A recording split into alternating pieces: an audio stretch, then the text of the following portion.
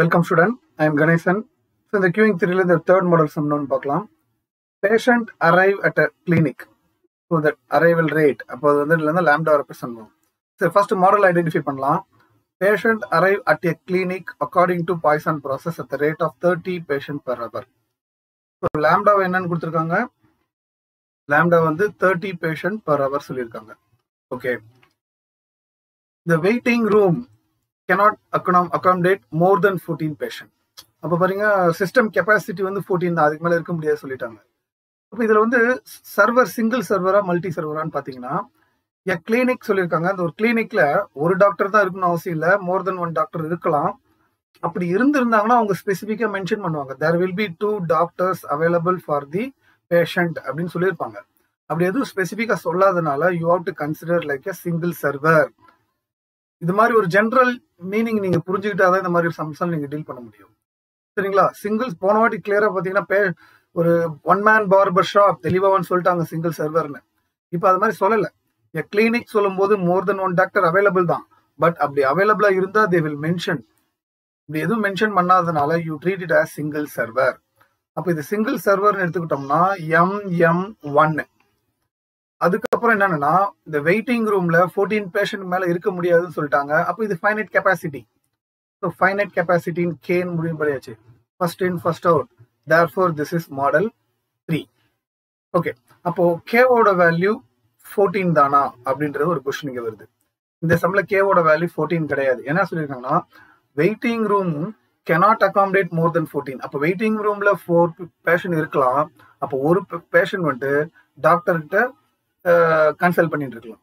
அப்போ waiting room plus one getting service that four fourteen plus one equal to fifteen ஆனா போன சம்ல பாத்தீங்கன்னா ஃபிஃப்டீன் சொல்லிட்டு பிராக்கெட்ல ஃபைவ்னு சொல்லிட்டு பிராக்கெட்ல four waiting one getting haircut அப்படின்னு சொல்லியிருந்தாங்க. பட் இதுல அது மாதிரி சொல்லாதனால வெயிட்டிங் ரூம்லேயே பதினாலு பேர் இருந்தாங்கன்னா ஒரு பேஷண்ட் வந்து டாக்டர்கிட்ட கன்சல்ட் பண்ணிட்டு இருப்பாங்க. அவங்கள வந்து சேர்த்துக்கிட்டோம்னா ஃபிஃப்டீன் ஸோ ஓவராலா சிஸ்டத்துல ஃபிஃப்டீன் பீப்புள் அக்செப்டட் அதான் சிஸ்டம் கெப்பாசிட்டி சரி அடுத்தது என்ன சொல்லியிருக்காங்க பார்ப்போம்.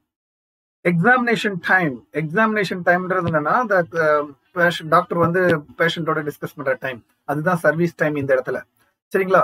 ஸோ எக்ஸாமினேஷன் டைம் என்ன சொல்லியிருக்காங்கன்னா per patient is exponential distributed random variable with the rate of 20 per hour. This is 20 per இந்த டேட்டாலாம் கொடுத்துட்டு ஃபர்தர் அவங்க என்ன கேட்கறாங்கன்னா find the effective arrival rate இந்த எஃபெக்டிவ் அரைவல் ரேட்ன்றது என்னன்னா லேம்டா டேஷ் அடுத்தது என்ன கேட்டிருக்காங்கன்னா what the what is the property that arriving patient will not wait வர்ற பேஷண்ட் வெயிட் பண்ணாம சர்வீஸ் வாங்குறதுக்கு என்ன ப்ராபர்ட்டின்னு கேட்குறாங்க சம் போடும்போது சொல்றேன்.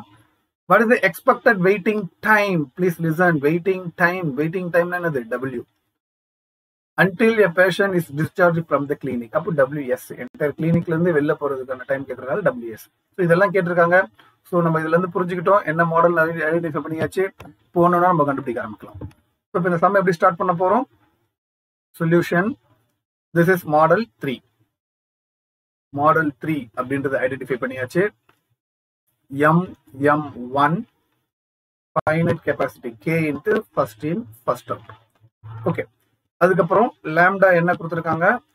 தேர்ட்டி பர் அவர் நான் ஆல்ரெடி சொல்லியிருக்கேன் everything I going to convert into in terms of minute per minute அப்போ தேர்ட்டி இயர்ஸ் சிக்ஸ்டியால டிவைட் பண்ணீங்கன்னா உங்களுக்கு one by two per minute one by two per minute okay அந்த மாதிரி பண்ணியாச்சு. இப்போ அடுத்தது வந்து மியூ மியூவையும் அதே மாதிரி என்ன கொடுத்துருக்காங்கன்னு பாருங்க. மியூ வந்து டுவெண்ட்டி பர் அவர் கொடுத்துருக்காங்க.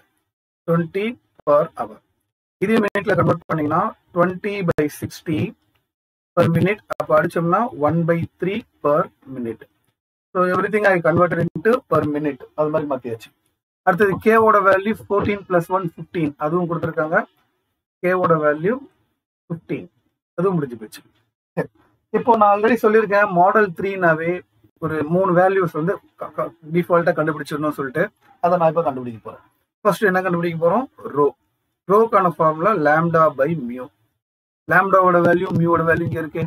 லேம்டாவோட வேல்யூ ஒன் பை டூ மியூவோட வேல்யூ ஒன் பை த்ரீ அப்போ இதை மேலே கொண்டு போனீங்கன்னா three by two three by டூன்னு வச்சுக்காம இது கால்குலேட்டர் யூஸ் பண்ண அறவே த்ரீ பை டூன்றது ஒன் பாயிண்ட் ஃபைவ் அதை அப்படியே எழுதிருங்க.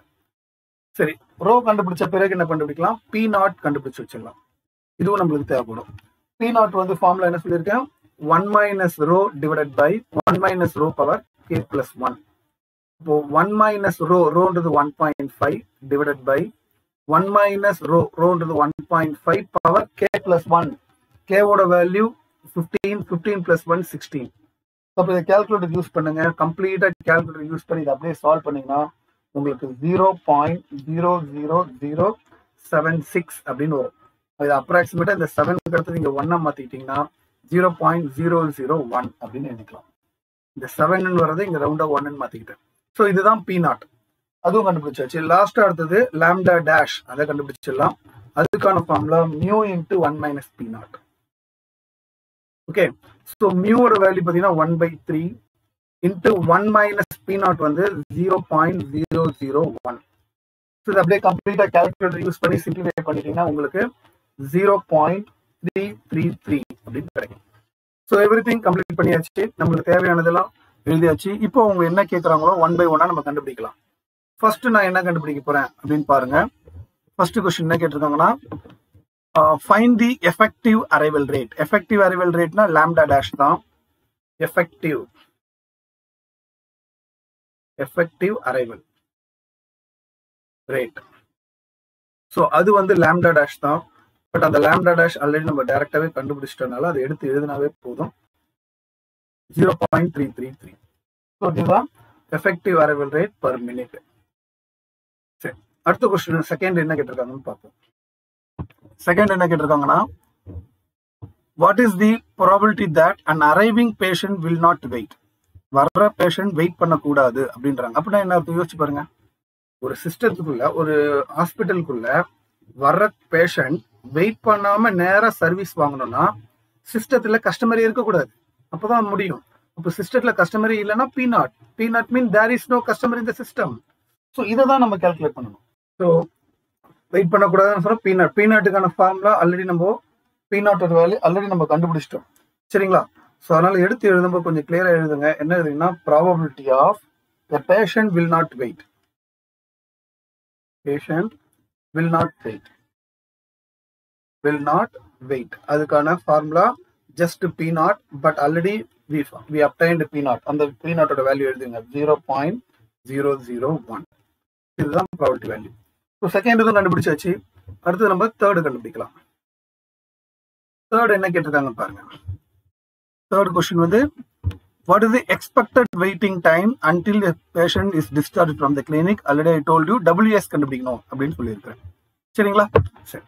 டபிள்யூஎஸ் கண்டுபிடிக்கணும்னா ஆல்ரெடி நான் ஃபார்முலா நம்மளுக்கு இதை பத்தி டிஸ்கஸ் பண்ணியிருக்கோம். லேம் L LS by lambda dash அப்போ முதல்ல எல்எஸ் கண்டுபிடிச்சாதான் நம்மளால செம்ம ப்ரொசீட் பண்ண முடியும்.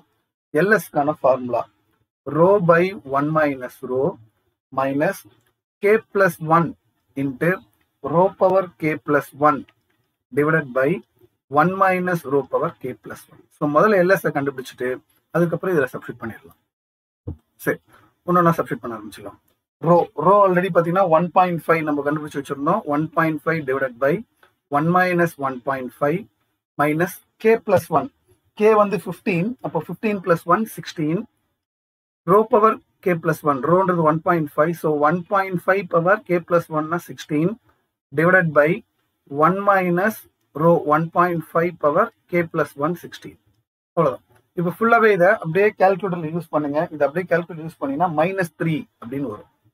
அதுக்கப்புறம் மைனஸ் இதை ஃபுல்லாகவே நீங்கள் கேல்குலேட்டர் பொறுமையாக யூஸ் பண்ணி பார்த்தீங்கன்னா மைனஸ் சிக்ஸ்டீன் பாயிண்ட் ஜீரோ டூன்னு வரும். ஆனால் minus of minus plus sixteen point zero two அப்படின்னு எழுதிக்கலாம். ஓகே ஸோ அப்போ இதுல இருந்து ரெண்டு சப்ராக்ட் பண்ணீங்கன்னா எல்எஸ் இஸ் ஈக்குவல் டு இதுல இருந்து சப்ராக்ட் பண்ணும்போது thirteen point zero two so நம்ம என்ன கண்டுபிடிச்சிட்டோம்? எல்எஸ் கண்டுபிடிச்சாச்சு. பட் கேட்டிருக்கிறது எல்எஸ் கிடையாது WS டபிள்யூஎஸ்க்கான formula LS by lambda dash so இதில் கொண்டு வந்து சப்ஸ்டிட் பண்ண போகிறேன் எல்எஸோட value thirteen point zero two divided by lambda dash lambda dash வந்து ஆல்ரெடி கண்டுபிடிச்சிருக்கோம் zero point three three three just calculator use பண்ணீங்கன்னா தேர்ட்டி நைன் கிடைக்கும் so waiting time of the customer system thirty nine minutes இதுதான் இந்த சம்மோட answer அவ்வளோதான்